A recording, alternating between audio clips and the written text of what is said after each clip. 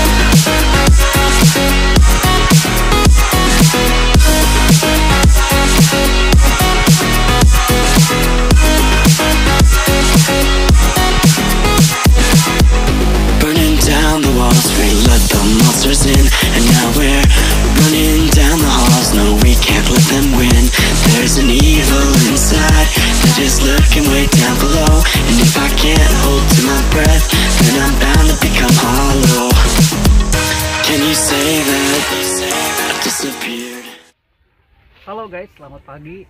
Barang lagi ketemu dengan gue, Alfian. Nah, saat ini gue sedang berada di Gunung Galunggung. Nah, setelah melewati beberapa eh, banyak anak tangga lah. Ya, tapi hari ini sih cukup berkabut semuanya ya. Hari ini uh, trip gue Gunung Galunggung dan juga Surabaya. Saksikan terus seruan hari ini. Semakin kita lah dengan.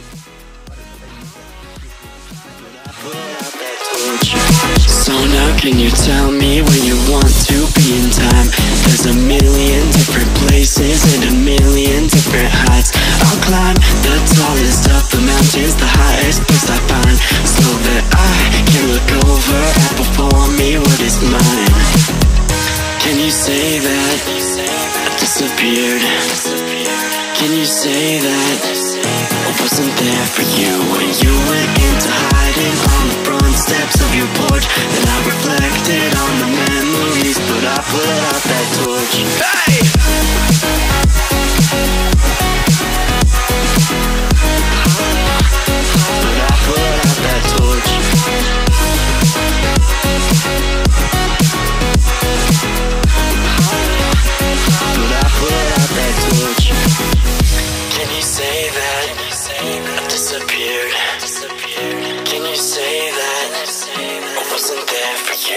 you went into hiding on the front steps of your porch? Then I reflected on the memories, but I put out that torch. Can you say that? Oke, halo guys, selamat pagi dengan gua Alfian. Nah, setelah kita menikmati panorama yang begitu luar biasa di Gunung Galunggung ini dan kawahnya, nah, gue saat ini berkesempatan untuk menginterview seorang bapak yang asli orang sini. Nah, jadi kita selain kita menikmati keindahan alamnya, kita juga belajar nih sejarah dari Gunung Galunggung ini. Mau tahu apa sebenarnya? Yuk kita tanya-tanya dengan si bapak ini ya. Halo Pak. Halo, Salam Pak. Dengan siapa Pak? saya Pak Jaja. Pak Jaja. Nah dengan saya Alfian. Nah Pak, saya mau tanya Pak, eh, Bapak udah lama Pak tinggal di sini? Saya alhamdulillah udah lama. Udah Saya lama ya? jualan, mulai jualan dari tahun 94. Tahun 94. Iya.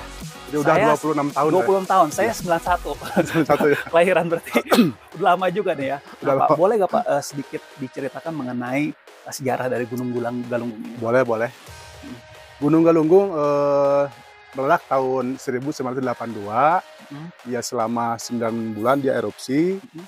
Setelah 83 dia berhenti, bukan berhenti. Jadi menurun aktivitasnya dan seterusnya itu gunung apa bukan gunung kawah yang di tengah itu kerendam air lalu kelihatan nggak aktif Oh, padahal di bawahnya masih ada oh begitu. Iya. Iya. Ya seperti itu eh, sedikitnya sejarah mengenai Gunung Galunggung ini. Gitu. Makanya Pak itu menciptakan kawah Pak ya? Iya kawah. gitu. kawah ini kawahnya sekeliling ini namanya kaldera itu kaldera anak gunung di bawah ada anak gunung. jadi menurut peralatan tuh eh, aktivitasnya 1000 meter di bawah oh gitu. makanya dia agak mampu ke atas dia malah keluar ke bawah ke pemandian Oh gitu. Jadi Itu gunung erangat gitu jadi. iya Wah. Nah, oke Pak, untuk mengakhiri interview ini coba Pak eh, ajak penonton-penonton untuk berkunjung ke Gunung Galunggung Pak. Assalamualaikum pemirsa masyarakat Indonesia Eh, sekarang Gunung Galunggung sudah dibuka sampai jam 9 malam buka jam 7 tutup jam 9 malam oke guys semua marilah ke Galunggung oke berkunjung ke Galunggung untuk berwisata menikmati pemandangan alam yang sangat indah di Tasikmalaya sebelah barat. Ah, Terima kasih. Oke. But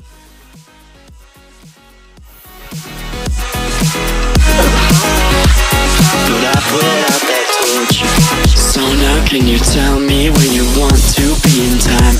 There's a million different places and a million different heights. I'll climb the tallest of the mountains The highest place I